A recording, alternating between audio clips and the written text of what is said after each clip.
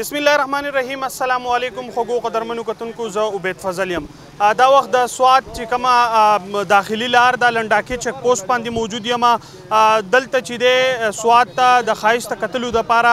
په زرګونو سیلانیان چې دغه سواد تر اتل غواړي خو چونکې په دې ځای باندې پولیس انتظامیه او دا چې دی دلته ولاړ دي هغه خلکو باندې پابندي ده په سوات چې څومره سیاحتي مقامات دي هغه مکمل طور بند دي سیلګري چې دي هغه سوات ته نه پرېښودل کیږي کومه د کورونا دغه وایرس دغه وبا چې ده په دغه د ختمولو یا د دغه د روکتام لپاره دا خلک چې دی دا سوات ته نه پرېښودل کیږي کوم مقامي خلک چې دی هغه سوات ته راتلی شي خو چونکې آوټ آف ډسټرکټ خلک چې دی د هغې په راتګ باندې مکمل بندیز لګېدلی دا وخت زموږ سره سرکل ډي ايس پي باشه حضرت خان چې دی هغه ولاړ دی د دوی سره په دغه حواله باندې پوښتنه کوو چې را دوی څه ویل غواړي په دې حواله باندې عوامو ته څه پیغام ورکړي اسلام علیکم سر وعلیکم سلام سر دا راته ووایې چې اختر دی او سوات چې ده یو سیلګریزه سیمه ده خلک دلته راځي نن هم چونکې په زرګونو چې دی خلک دلته راغلي په سوونو ګاډي ولاړ دي دغه خلکو ته څه پیغام ورکوي دا خلک د هغه پابندۍ باوجود سوات ته راتلل غواړي ګوره ګرانه دا د څلورو میاشتو نه دا ریهرسل شروع دی دا کیسه شروع ده څلور میاشتې وشوې د دې وبا نن دوه ورځې نه دي شوي درې ورځې نه دي شوي د بدقسمتۍ نه دا ټول خلک واقف دی د دې خبرې نه د دې خبرې نه ډېر زیات خبر دی چې داسې دا چې د خلکو په کاروبارونو باندې د خلکو په یعنې داسې څیزونه دي چې په هغې پابندۍ لګېدلې دي او دلته سوات ته دوی دغه ځای نه را روان دي ښه ورته پته را چې یاره په سوات باندې په راتلو پابندي ده وړوکی اختر کې پابندي وه د هغې نه پس هم پابندي وه اوس هم پابندي ده د هغې باوجود موږ نه پوهیا چې دا خلک به په څه پوهېږي د خدای پاک یو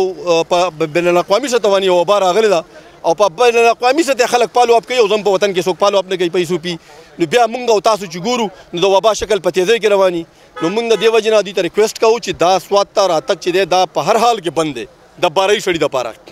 د سوات چوبیس لاکه آبادي ده او که یو دوه درې خلک رااله او دا وبا بیا سپریډ شوه نو د دې لپاره به د سوات خلک بیا د دوی د دغه د دوی د راتلو نه بیا نقصان به پیدا بنئ سر زیاتره مقامی خلک ته په نورو ځایونو کې د هغې مطلب دا رودونه شوي یا سوات ته راتلل غواړي یا په دې رش کې چې مقامی خلک ونښلي د هغې لپاره څه تاسو څه کوئ موږ ایس او پي پالو کوو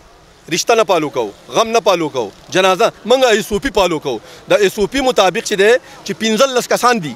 را روان دي غم له به یو کس راځي کنه نو چې هغه 15 یې ځان سره روان کړي په دې نوم باندې پرون ولې نه راتله ابل پرون ولې نه راتله خو نن ورځې باندې خلک دا پلی اخلي چې مړی شوی راځي خادي شوی دا پلانې شوی دی مطلب دا خو سوزر نه دی کنه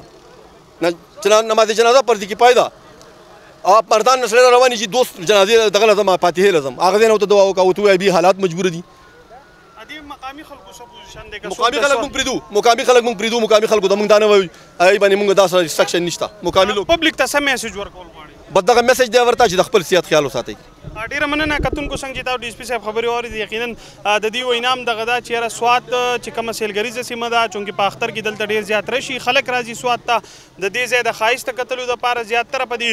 کمې کوزې علاقې چې دي هلته د ګرمۍ دغه شدت چې دا زیات نو خلک د سوات د دغه یخو سیمو چې دی هغه ویزټ کوي دلته راځي خو چونکې د دوی وینا دا ده چې را په دغه چې کم د کرونا دا وبا خوريږي د دغه د روکتام د پاره چې دی په دغه علاقو ته پتلو باندې پابندي ده په تک پابندي ده نو مونږه په کار دادي چې را مونږ په خپل کورونو کې اوسو دا اختر د ورځې چې دا په خپل کورونو کې تیر کو او دا